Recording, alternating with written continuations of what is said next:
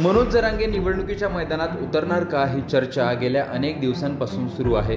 ते लोकसभा निवडणुकीच्या मैदानात उतरलेच तर मतदारसंघ कोणता असेल यावरूनही जालना आणि बीडचं नाव घेतलं जात आहे आता बीडमधून पंकजा मुंडे यांना भाजपच्या उमेदवार म्हणून घोषित केलं गेलंय.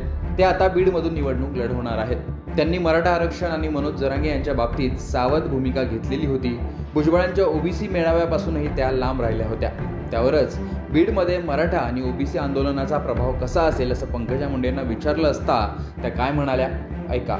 लोकसभेच्या निवडणुकीत नव्हे तर माझ्या राजकीय जीवनामध्ये सर्व समाजांना सोबत घेऊन काम केलेलं आहे.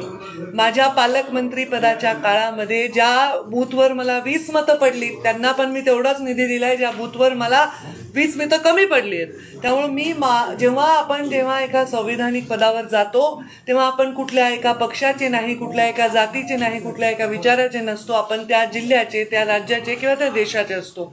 त्यामुळे अशा प्रकारचा बायस विकास करावा असा मुंडे साहेबांनी माझ्यावर कधी संस्कार केलेले नाहीत. मी माझ्या बीड जिल्ह्यामध्ये सर्व समाजांना एकत्र घेऊन चाललेली आहे. आरक्षणाच्या भूमिकेमध्ये माझ्या सगळ्यात बॅलन्स भूमिका राज्यामध्ये मी घेतलेली आहे.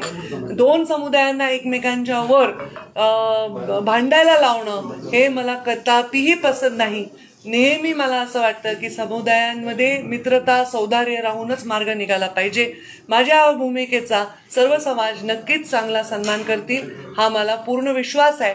एक दोन यूट्यूबच्या बातम्या किंवा एखाद्या पेपरमध्ये एखादी आलेली छोटीशी बातमी याच्यावर न जाता माझ्या मनाचा अंतर्विश्वास अंतर्मनाचा जो विश्वास आहे तो सा नक्कीच सार्थक बीड जिल्ह्याची सर्व जातीची जनता